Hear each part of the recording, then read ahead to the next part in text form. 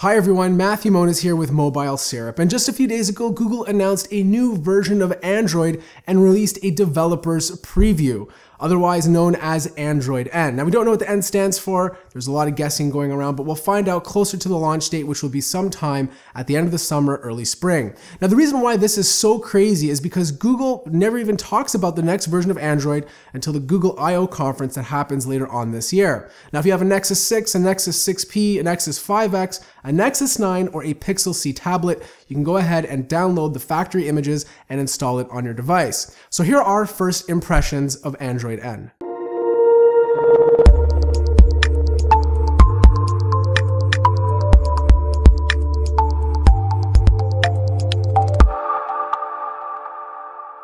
All right, after you've gone through the initial setup process, this is the first screen you'll see. This is the Android N new wallpaper. It's pink, it's very minimalistic, and if you guys like it, I'll place a link in the description down below so you can go ahead and download your own copy.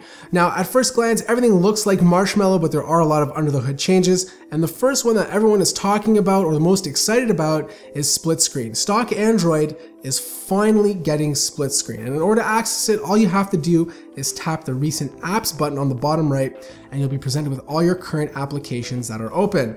Now you can select the application you want by long pressing on the header and then dragging it to the top and it will begin to split the screen. You can resize it by moving the thing up and down. And of course, you can also use it in landscape mode, which is great if you have a tablet or a bigger device. Now to get rid of split screen, all you have to do is swipe the screen all the way down and you'll be back to just your original screen. And there's also another change to the recent apps button as well. If you tap it once, for example, you can go through each app one by one, which makes it a little bit more granular instead of actually scrolling through all of them with your finger.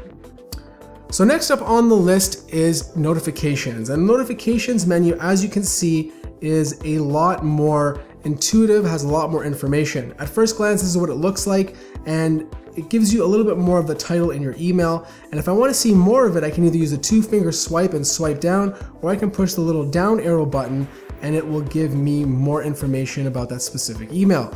Now you can also reply to the email directly from the notification or you can archive it as well. And if you want to get rid of it, you can simply swipe it to the left or right, kind of like how you always could, but you're also presented with a cog button that gives you a few more settings. Now there's no settings yet, but I'm sure there will be once Gmail gets an update down the road. Now Google's also releasing the API to developers so they can implement their notifications in this new system as well. Now above the notifications are your quick settings menu. It's very minimalistic looking now. You have a few toggles that you use on a daily basis. And if you want to extend that, of course, you could either use the down arrow, of course, the two finger swipe down. Now the first thing you'll see is that the Android beta program icon is there letting you know that this is a developer's preview and it's not a final version of N. On top of that, you have an edit button that allows you to add different toggles to your main menu. And a new one that's actually arisen is Data Saver.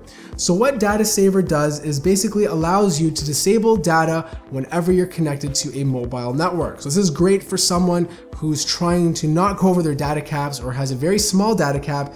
You enable this and every time you move away from Wi-Fi, you won't use any data. So it's kind of a neat little trick. Next up on the list is the actual settings menu. And settings has gotten a big change as well. And the first thing is that there are actual suggestions on the top. So right now the suggestions is letting me to know to change my wallpaper. If you find this annoying, you can go ahead and press the three buttons here and hit the remove button and the suggestions will go away. But the biggest change to the settings menu is the information that you're given. So you have a lot more information about each settings tab than you did before. So for example, under notifications, it lets me know that I have 53 apps installed. For example, by display, I have adaptive brightness and it's on. And for storage, it shows me exactly how much storage is being used. So it's giving you a lot more information without having to dive right into the setting itself. But the setting itself also has changed a little bit too. We have some new graphics that are showing the battery saver life. And since we're talking about battery, Doze is also getting improved as well. Google didn't really say how it's getting improved, but it will perform a lot better than it does now on Android Marshmallow, and we should see a lot better battery life. Now, instead of going back to the settings menu by tapping the back button, if I actually swipe to the right, I'll get a quick view of all the settings that are currently in the main menu and it's kind of a quick way to get to another setting without going back. Now I'm not sure exactly how much time this will save, but it's there.